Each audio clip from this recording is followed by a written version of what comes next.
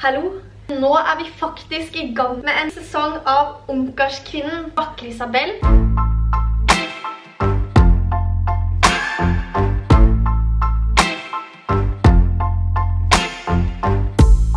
Sometimes it burns, sometimes it hurts. When you say my name,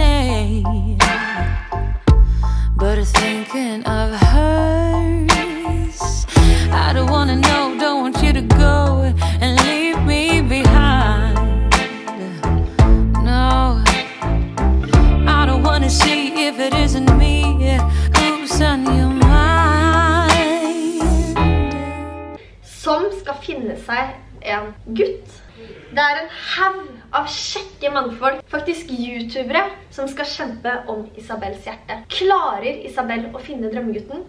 Eller blir dette her en fiasko? Det er bare å følge med. Velkommen til første episode av Ungkarskvinnen YouTube Edition. Ok, da sitter jeg her med Isabel Eriksen. En singel 20-åring fra Oslo. Men Isabel, hvordan gutter er det du liker? Um, det er litt forskjellig, faktisk. Jeg liker gutter som selvfølgelig ser bra ut. Det er jo ikke noe å legge skjul på det at de må det. Men uh, personligheten har mye, mye å si for meg. Er du klar, Isabel, for å møte den første gutten? Jeg er skikkelig klar. Jeg gleder meg masse. Jeg er skikkelig spent. Nå lurer jeg på hva du har funnet til meg. Vet du hva? Jeg har en bukett av vakre mannfolk. Du har det? Ja. Ok, da gleder jeg meg til å se den vakre buketten Vet du hva? Jeg skal få inn han første. Ja. Og vet du hva? Håper du har et håndkle under stolen. Da står jeg her med den første gutten. Og hva heter du? Du heter Jonas. Hvor gammel er du? 20. 20 år, vet du hva? Perfekt for Isabel. Hva er din strategi for å vinne hjertet til Isabel? Være meg selv og ta det som det kommer. Vet du hva? Ventetiden er over. Yes!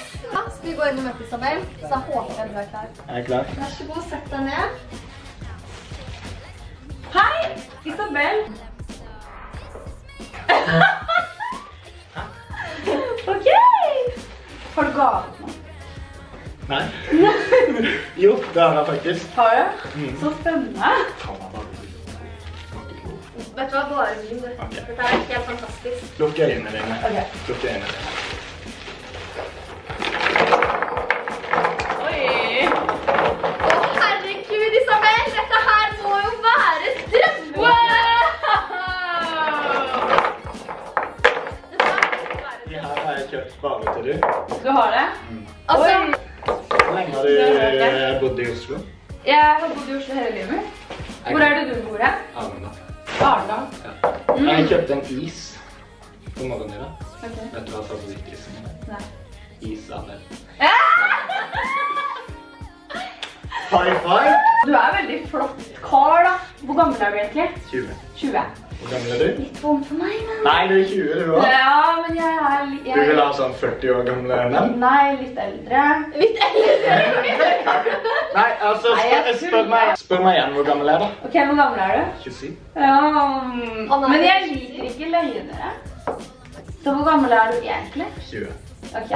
Nei, men det, det er bedre å være 20 enn å lyve om at du er 27. Det er sant. Jeg er veldig glad i å bli sminka. Du er det? Da kan, kan ikke jeg prøve? Kan ikke jeg ta på den her på deg nå, da? Nei, jeg vil bruke den lilla. Nei. Nei, blå! Går de av med en gang? Ja, men altså, kjæresten min, den, han må være tøff og tørre. Ok, ja, ja, ja, smink meg med en gang, du. Ok, er du klar? Ja, ok.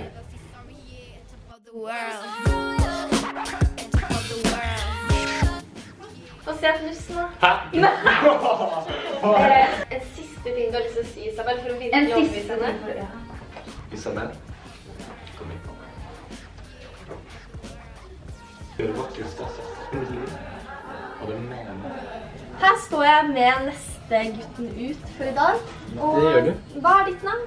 Alexander Joten. Alexander. Hvor gammel er du? Jeg er 19. Gruer du deg? Nei. Du gjør ikke det? Nei da, nei da. Hva er planen din for å vinne Isabels hjerte? Jeg skal være meg selv, vise mine beste sider. Vet du hva, det høres ut som en veldig god plan. Vet du hva, jeg tror ventetiden er over. Skal vi bare gå hjem og møte Isabel? Ok, ja, la oss gjøre det. Hei, Hei. Isabel. Åh, jeg blir alltid så rørt Du av vet, det jeg der. klarer ikke sånn. Isabel, Ja, i og med at vi to er bestevenninner, Ja. hvor kult hadde det ikke vært å ha kjæreste med samme navn? Ja. Hæ? Også for å ikke forvirre, ja, og ikke for å forvirre, så er jeg X. Og kjæresten hos og KS. Ja, men det er Så det perfekt. hadde vært perfekt. Ja. du fra også fortelle litt om deg selv til Isabel? For jeg tror nok det er mye jeg lurer på. Alexander Joden heter jeg. Ja. Jeg er 19 år, født i 1997. Ett år yngre enn deg, men jeg er veldig voksen. Det lover jeg deg. Ja, for det er... ja. Men samtidig så tenker jeg at det er ikke lurt å bli for voksen. Man må fortsatt holde på det indre barnet i kroppen. Ha det moro. Ha det gøy i livet. Ikke sant?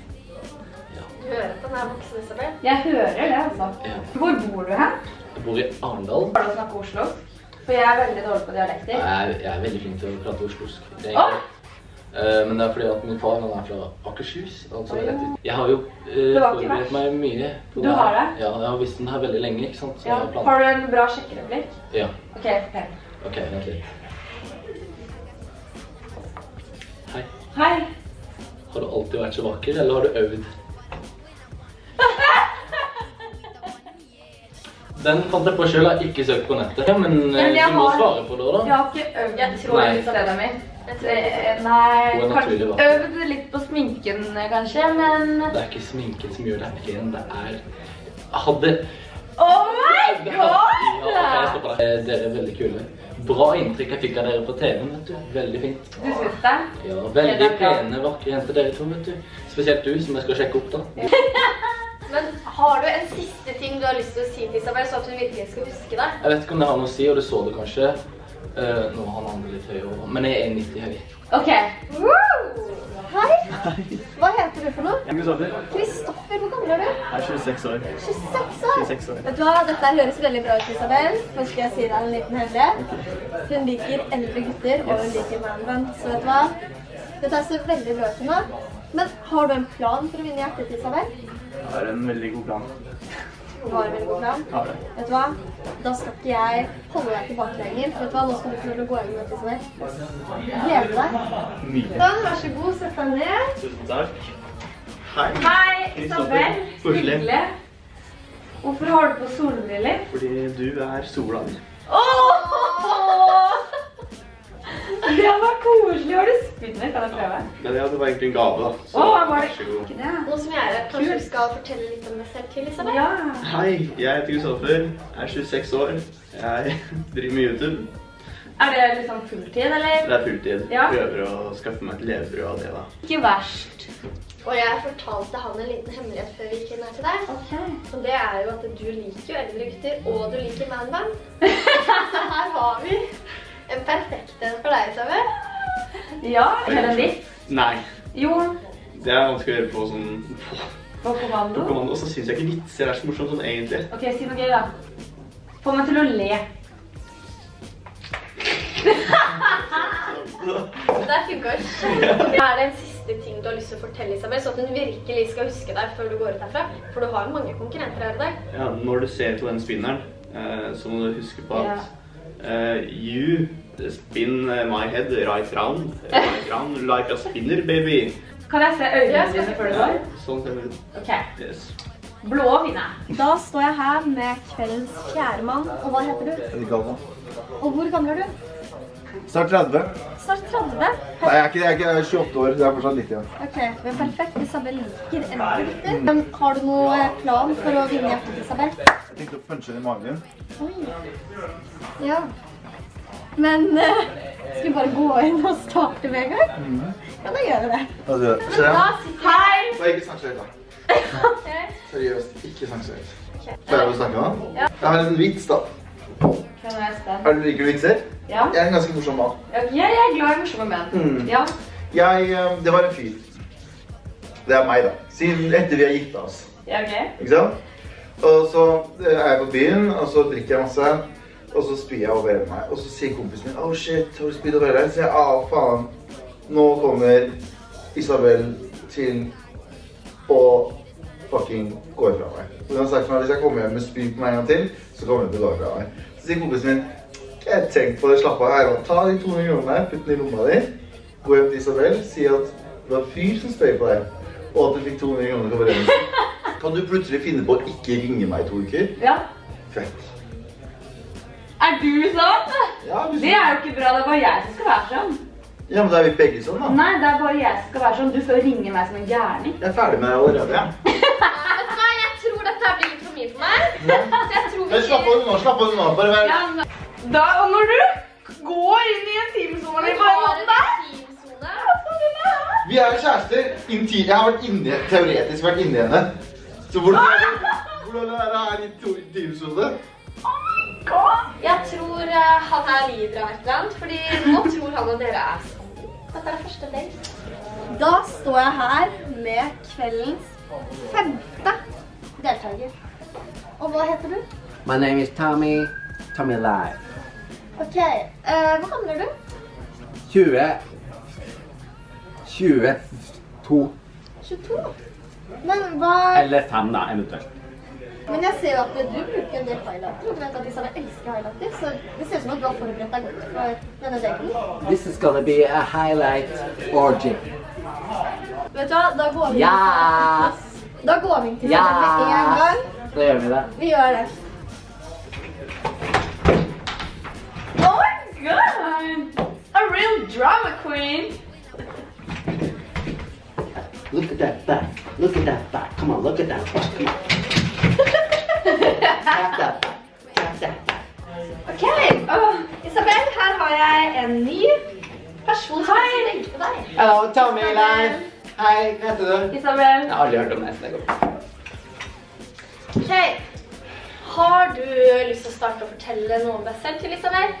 Jeg tar på engelsk eller på Du kan ta på hvilket språk du.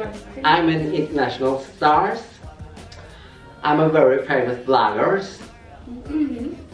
I have a lot of fans in all the world. Uh, I have. Uh, I'm an international blogger. Did you know that? A blog. I have international blogs. Fikk du med Fikk du med deg? What, what have you done?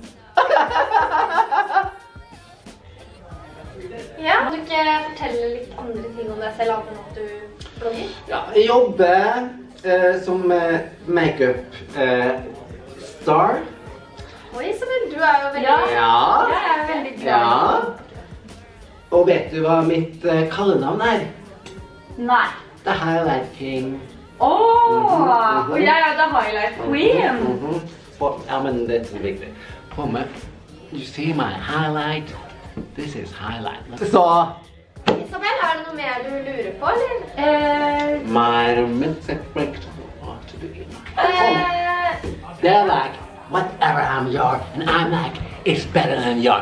da tror jeg kanskje at vi sier takk til deg, altså... For Får ikke jobben? Uh, det er ikke en jobb. Det ringer, men du får jobben. Dette. Jeg jobber ikke, vet det?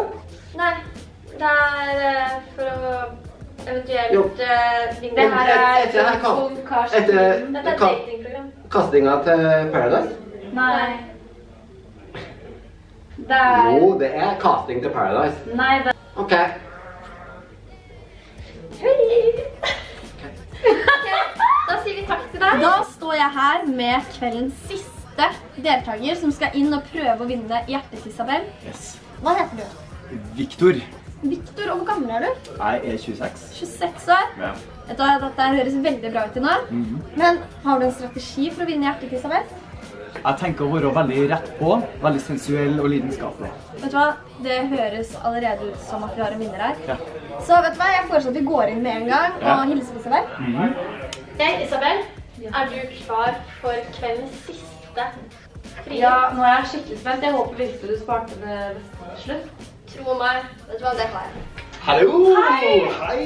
Isabel, Victor. så hyggelig. Så hyggelig. Ja, Hvordan går det her? det går bra. Ja. Hvordan går det med deg? Det går veldig, veldig fint. Ja, hvor er det du er fra?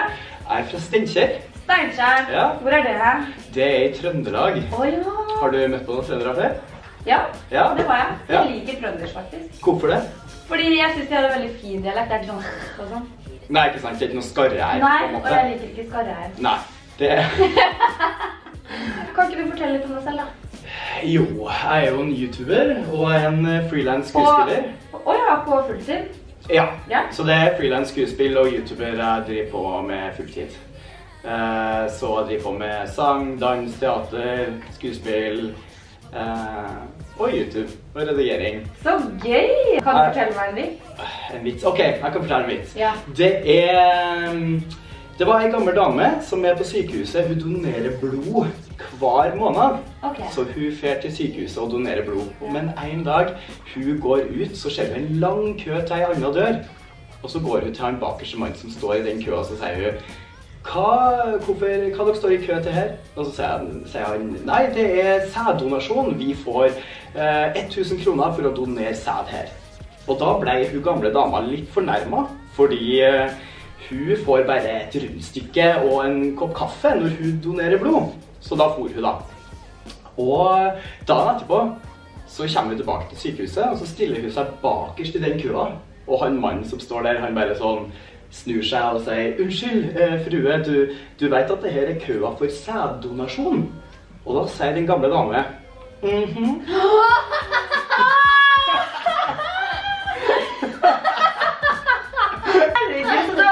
også. Ja, for hør det i hvert fall. Ja. Hør at det er litt svigermors drøm, da. Ja, ja, men det er jo godt. I tillegg er jeg veldig direkte. Og Ja, veldig, det er jo liksom, også veldig Ja, for meg så har på en måte lidenskap og passion veldig mye å si. Mm. Men jeg vet ikke om det er det til deg, så jeg, som oftest på første date så liker jeg å teste ut kanskje et lite kyss. Kom igjen, et lite nuss. Ok. Så hvis jeg kunne bedt deg om å gå og forlate rommet. Ja, det skal jeg gjøre. Tusen takk. Isabel, Ja. hva tenker du om guttene? Eh, noen av dem var vel litt spesielle, mens andre var helt ok. Hvem tror dere vinner? Jeg elsker deg mest. Jeg elsker deg mye mer enn han. Jeg lover. Da er det klart for elimineringsrunde her på Ungkarskvinnen. Hvem stikker av med seieren i denne episoden? Er det gutten som har lyst til å bli skuespiller? Eller er det han som kommer med sjekkereplikker som Isabel aldri har vitne til før? Det skal vi finne ut av nå, for nå er det tid for konkurranse. Velkommen til elimineringsseremonien. Ok, gutter. Ja. Dere er faktisk de tre vinnerne av denne episoden. Men vi er ikke ferdige helt ennå. Isabel liker gutter med konkurranseinstinkt. Og det skal dere bevise for henne nå. Det har jeg veldig lite lyst til. Jeg deep-throater en banan på Isabel, for å si det sånn. Du gjør det? Hva gjør Jeg liker frukt av tre. Nei, men dere skal få slippe det i dag. Og det nemlig førstemann til å spise opp en hel banan, og den skal være svelga. Førstemann til å spise opp denne bananen vinner nå denne Det episoden. er. Da har jeg funnet tre, som dere ser. Ok, Like.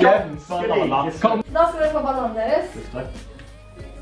Ja. Grei banan, det. Tusen takk. Hyggelig. Klar, ferdig, gå! Oi! Å,